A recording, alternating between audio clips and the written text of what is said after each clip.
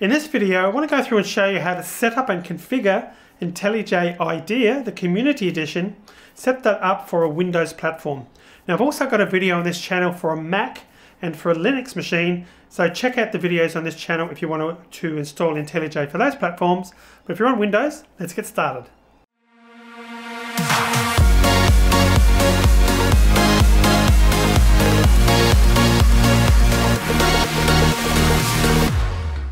Alright, so what we need to do is visit jetbrains.com and they're the people who are responsible for the product called IntelliJ IDEA that we're going to be using. So once you get to their website, I come up here to Tools, I'm going to go down and I'm going to click on IntelliJ IDEA. And when that screen loads, I'm going to click on Download. I'm going to close down this little uh, box here, which is a cookies uh, pop-up you may have seen on other websites. Click on yes, I agree to close it down. Now you've actually got two versions that you can download. The Community Edition over here on the right hand side, you can see it says that it's free and open source, so you'll never need to pay for it, and that's the version that I'm going to download and install. So I'm going to click on that. give it a moment to start. And you can see down there it's starting. I'm going to click on Run. And while that's downloading, I'm just going to click on back and talk briefly about the differences. You can see that uh, the Ultimate Edition is a commercial license, so it's not open source and therefore not free. So you can grab that if you want. It's got a lot of extra tools and capabilities and it's aimed at professional developers. You do get a free trial. JetBrains give you a 30-day trial, but in our case, we're going to be using the Community Edition. You don't need to do any of that. I'm going to close down the browser because we're going to go through the process now of installing IntelliJ IDEA. So I'm going to click on yes here. And now we've got a standard wizard and I'm going to go through the steps to install it. I'm going to click on next. I'm going to click on next again, accepting the default destination folder. Now when you get this first screen, it's important to get this bit right. So up here under create desktop shortcut, I'm going to click on 64-bit launcher. If you were on a 32-bit operating system, you would choose 32-bit launcher, and in addition to that, you'd also come down here and click on download and install JRE x86 by JetBrains. That's only if you're a 32-bit user. In my case, I'm a 64-bit uh, user, where I'm just clicking on 64-bit launcher and not selecting that. These create associations, I suggest you check all three of those and that just means that uh, if you've got a file with any of those extensions, which is basically some Java code Groovy, which is another language, and Kotlin, if you click any of those, it'll open up in IntelliJ. So I'm going to click on Next, click on Install, and that's going to go through the process of installing IntelliJ IDEA on this computer. And just to note that if you did have a 32-bit operating system and you selected to download the JRE, you'll find that that will take a while and that will uh, increase the time for completion of this installation process. But in my case, again, I was on a 64-bit machine and didn't need to, didn't, uh, need to do that.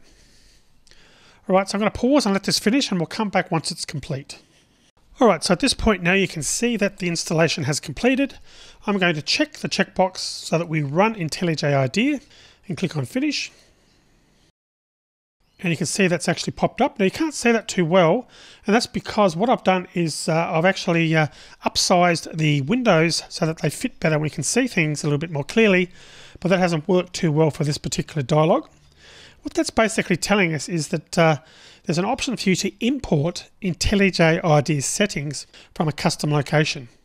Now that would be if you had a previous installation of IntelliJ IDEA and you wanted to restore all the various settings. But in my case, this is a brand new installation on a brand new machine. So I'm going to select the option Do Not Import Settings and click OK.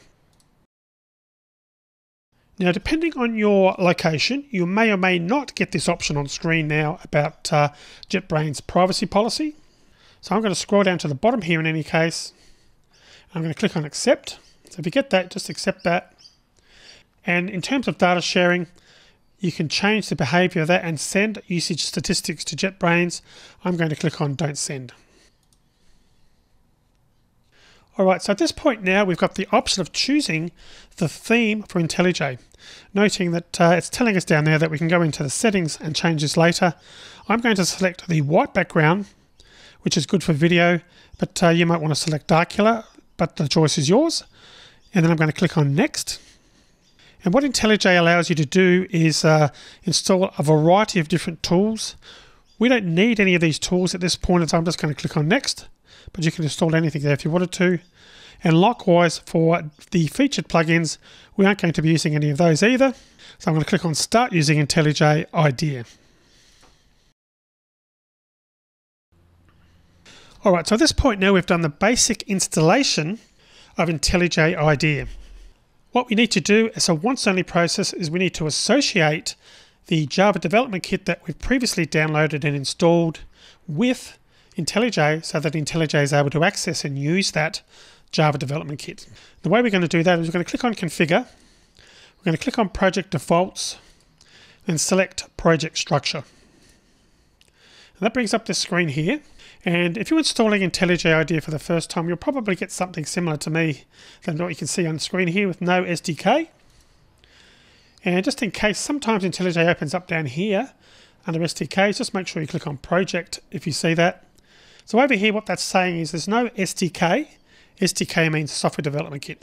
So it's just telling us that we need to define and set one up. To do that, I'm going to click on New. Then I'm going to come over here and select JDK. Now in some cases, IntelliJ IDEA will automatically find the version or the Java development kit that we installed in the previous video. In this case, it hasn't found it for us. So what we then need to do is navigate to the folder where that was installed. I'm going to come down here and click on the uh, triangles there. And if you recall, it was C colon backslash program files. Then it was Java. Then it's JDK11. So I'm just going to click on JDK11 there. Now, if you happen to have downloaded the 32-bit version of Java, which was Java 8, you will have, most likely have a JRE, which stands for Java Runtime Edition, and a JDK folder. In that scenario, make sure you select the JDK folder that uh, you can see that I've got selected here. I'm going to click on OK. And you can see that something happened up here, and we've now got an option. We've got no SDK, but we've now also got this option here, Java 11. So that will obviously be Java 8 if that's the version you downloaded. Then the other thing you'll need to do is depending on the version, you want to match the project language level to the version you download. So in my case, it's set currently to 10. I'm going to change that to 11. That's for Java 11. And then we need to click on accept here, which uh, will probably disappear in a future version of IntelliJ because this is because uh, the Java development kit is so new as of the time that I'm recording this video. Now obviously if you downloaded Java 8 you would select 8 here which would uh, match the version that you've downloaded. But in my case I've selected 11. I'm going to click on OK. Okay, now at that point, what we've done is uh, we've now installed or configured the Java Development Kit to work with IntelliJ. There's just a few other settings we need to do now which are once only settings, which just makes life a little bit easier for you when you're starting out with Java with uh, IntelliJ IDEA. And to get access to those, we're going to come down here and click on Configure, select Settings. And when that comes up, we're going to go down uh, to Editor and select General. We're going to open that up there and I'm going to select Auto Import. And what I'm going to check is these two boxes here, which is add unambiguous imports on the fly, as well as optimize imports on the fly for current project. And we'll be talking more in a future video as to what they mean. For now, just check those. And the other thing we want to do is uh, come down to appearance. We want to make sure that line numbers is checked, which uh, it is by default, but uh, make sure that is checked. Then the last uh, options we want to set are under here under code folding. And what we want to do is do a few things. We want to actually take the checkbox off imports. So we're not going to collapse imports. We want to uncheck the one-line methods. We want to uncheck closures. Then we want to uncheck generic constructor and method parameters. Now, if you're new to Java, that probably doesn't make a lot of sense, but essentially what we're doing here is uh, we're setting ourselves up to not get the, or to make sure rather, that the editor, IntelliJ, doesn't hide any code. As you become more experienced as a developer, you'll want to hide portions of the code to focus on what you're working on. But when we're starting out, we want to access and see everything. So this is the reason why we've actually unchecked those options so that all the code will actually be shown. All right, so finally I'm going to click on OK. We've now saved all those settings. And at this point, we're ready to start programming. Alright, so thanks for watching. If you've got questions, leave a comment. If you're ready for the next programming specific video, click on the link up here in the top left hand corner of your screen. To look at non-coding programming related questions, click on the link down the bottom left hand corner of your screen.